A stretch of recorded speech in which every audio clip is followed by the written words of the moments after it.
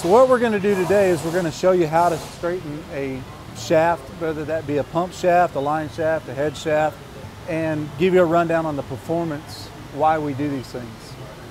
So it's real important for the shaft to be straight. And here in our facility, we like to straighten them within about a thousandth of an inch of total indicated runout. Uh, what this does is by straightening it, you wind up not getting vibration in your pump in the field, which can lead to a failure. So what we have right now is an operator who's going to attempt to straighten a piece of bar stock. So you'll notice that he's got his tape measure out and what he's doing is he's making sure that he has an even amount of space on the outside of the roller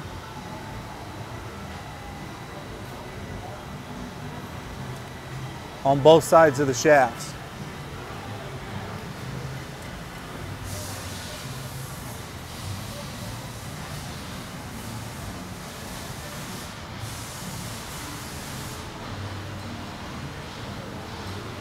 By doing this, he's given us some symmetry and a place to start. And what he's doing now is using a dial indicator and he's going to place it on the top of the shaft and you want to make sure that you have travel both directions on the indicator before starting the procedure.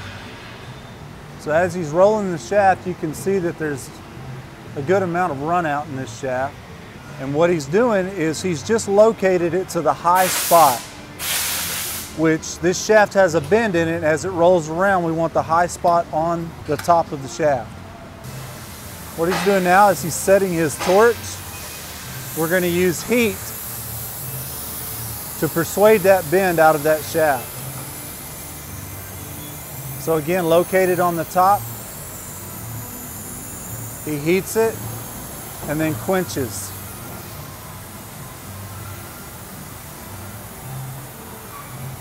The purpose of the heat and the quench is to try to get that run out to come past its top center.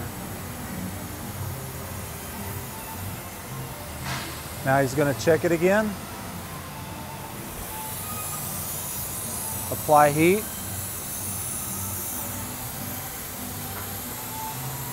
Every shaft will be different. The amount of heat that you apply depends on the metallurgy of the shaft. Often we find it's kind of a trial and error. After your first heating sequence, you can get a feel for how much heat that it takes to start to remove that bend.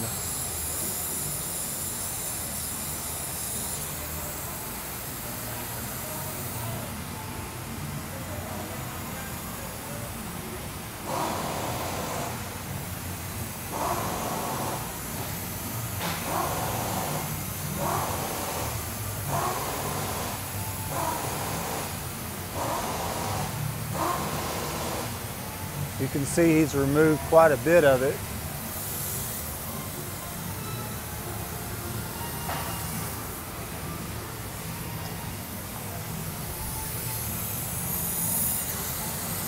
This process sometimes requires multiple heating intervals.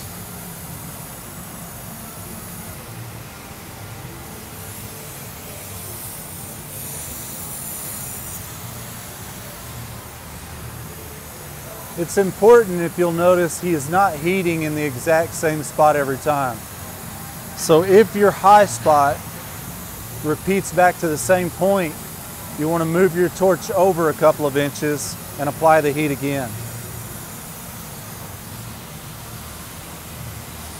Applying heat to the same spot more than a couple of times can cause a metallurgy hardening and can cause a weak point in the shaft. Okay, so now what he's doing is he's moving his indicator. So now he's moved to the end of the shaft. On this, he's finding the low side of the bend.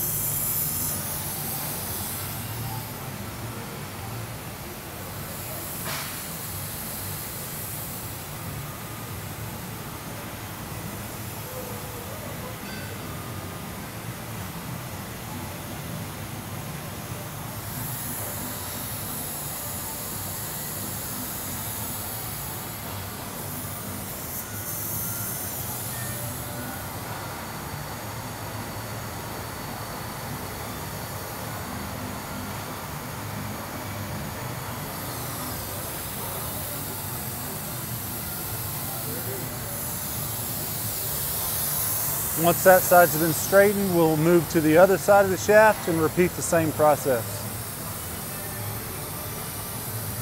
So once you've completed the middle and both sides of the shaft and you've got them straight, you'll move the dial indicator from the end to a couple of places in the middle and to the other end and verify the entire length of the shaft has been straightened.